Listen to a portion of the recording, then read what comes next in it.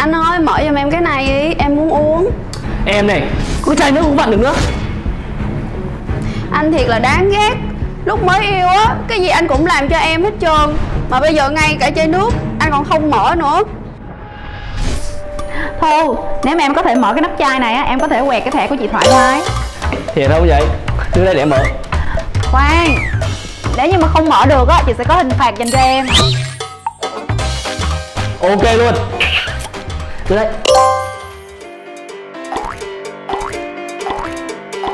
Em không có mở được đâu.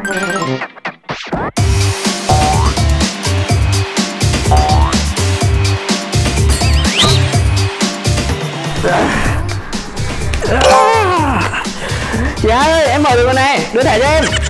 Đây, thẻ của em đây. Cầm để điều trị đi nha. Ồ điều trị gì vậy chị Thanh toán tiền viện phí cho người chồng vô cảm nha em. Trời ơi cái quân què dĩ dây bà. Thôi xuống đây bà phiêu chiều rồi. Linh có chuyện gì vậy? Chị Giang Em xin lỗi làm ồn tới chị. Không sao hết á, chị cũng đang coi tivi thôi à. Chị ơi Chuyện là như này. Ây da cái bụng của tôi. Anh ơi giúp em với. Em tự xử đi. Anh đang bận qua nhà thằng Châu Anh. Đây là mẫu son mới nè. Em thích quá à, em muốn mua nó. Em phiền đấy chứ Ở nhà không mua son làm gì. Anh đang chơi game đừng có làm phiền. Anh nay đi làm cả ngày mệt rồi đúng không? Đúng vậy rất mệt. Em ở nhà rảnh rỗi quá đúng không? Chị em còn nấu món ảnh thích nữa. Tại sao em lại có thể kiên nhẫn như vậy chứ? Biết làm sao được. Em chỉ ở nhà nội trợ Không kiếm ra được tiền nên không có tiếng nói. Nhưng mà chị lại không kiên nhẫn được nha em. Thu, mau ra đây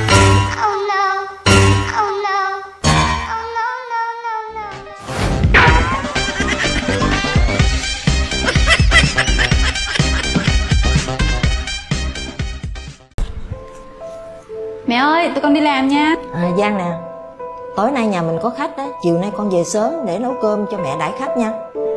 Dạ, à, có gì để con chiều nay con xin về sớm. Dạ mẹ Con đi làm đây. Nhớ nha chiều nay về sớm nha con. Dạ mẹ.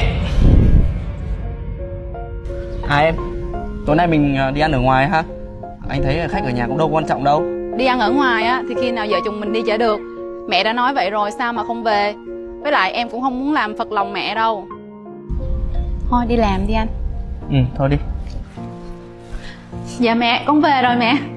Sao con về trễ vậy con? Dạ, tại vì có mấy món mẹ nhờ con nấu á, chợ chiều hết rồi cho nên là con phải chạy đi kiếm. Ừ thôi con đi nấu đi. À, Ủa mà mẹ, thường ngày con đâu có thấy mẹ thích ăn mấy món này đâu. Thì khách thích thì phải nấu thôi À dạ, vậy để con ờ, chạy vô nấu cho nó kịp. Dạ anh chào cô. Ủa sao hai đứa về cùng lượt vậy? Hai đứa có hẹn nhau trước không? À dạ không. Nãy con đi vô dưới cổng á Thì gặp thôi mẹ. Sao trùng hợp vậy? Có duyên thì gặp thôi. Con lên lầu trước đây nha mẹ. Thu con ngồi xuống đây để tiếp khách. Dạ.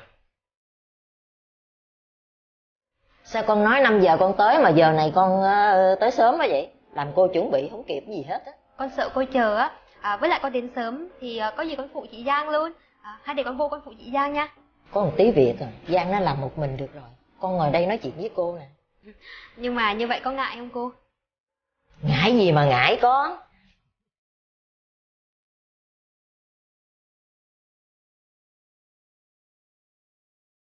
Anh chào cô. Có duyên thì gặp thôi Dạ mời cô ăn cơm nha. Ừ con ăn đi con Anh Thu ơi đưa bát em xới cơm cho. Không cần Để tôi tự sới Ăn đi con Dạ. À, mấy món này ngon quá à. Cô biết con thích ăn nên cô mua cho con đúng không? Rau cũng tươi nữa nè. à, mai mốt cô bày cho con nấu mấy món này nha. Đúng là cái đứa ham học hỏi Có gì mai mốt cô chỉ cho Mấy món này á Là vợ của anh làm hết á Có gì là vợ anh chỉ cho em nha À, thôi mình ăn đi. À, cái này là do nguyên liệu tươi đồ ăn ngon đúng không cô? Chứ ờ, mấy món này ai nấu mà chẳng được đúng không cô? cái này á con thấy nó hơi nhạt. Còn cái này thì không có được đậm lắm. Nói chung là không có ngon. cô không có ở nhà quê cho nên cô đâu có biết nấu mấy món này đâu tại vì con thích đó cho nên cô mới nhờ giang nấu đó thôi con ăn đỡ đi mốt có gì cô bù cho Mẹ, con thấy đồ ăn cũng ngon mà mẹ. Cô à, con biết một cái nhà hàng này á đậm đà lắm. À, mai mốt con dẫn cô đi ăn nhá. Thôi cô ăn đỡ cái này đi ha. Người nhà quê chỉ nấu có được như vậy thôi à. Chứ đâu có phải như ở mấy cái nhà hàng mà con đã ăn đâu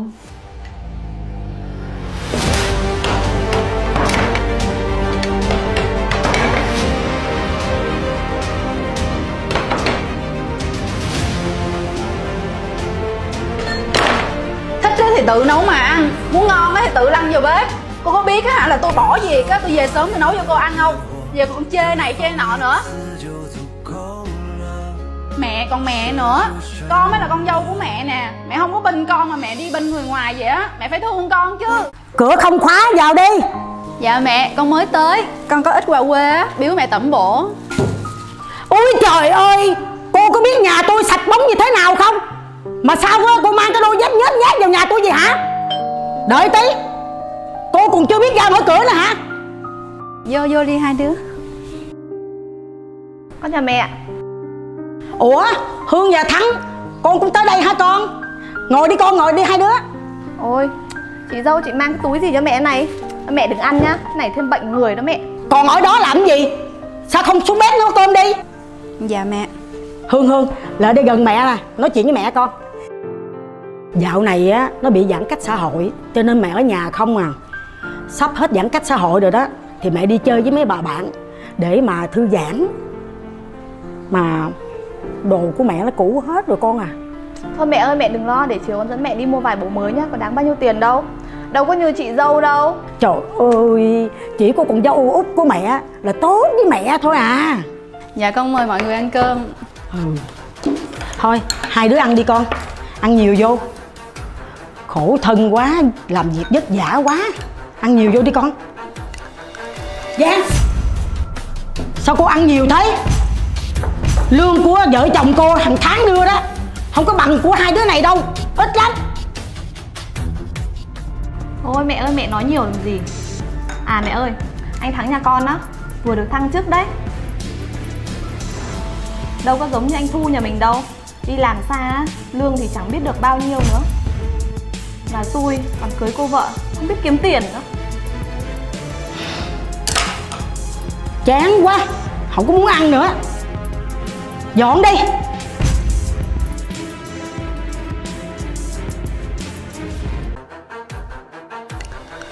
Giang Sao cô ăn nhiều thế?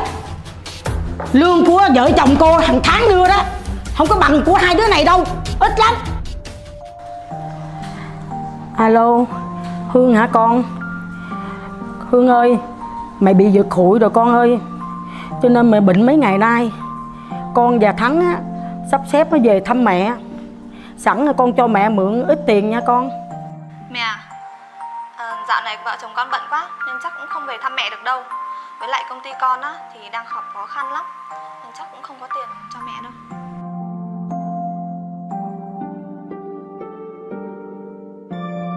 Mẹ Con nghe anh Thu nói á Mẹ bệnh mấy ngày nay á Con có mang cháo qua nè Để con mang vô á Con làm cho mẹ ăn luôn cho nó nóng nha. Ừ.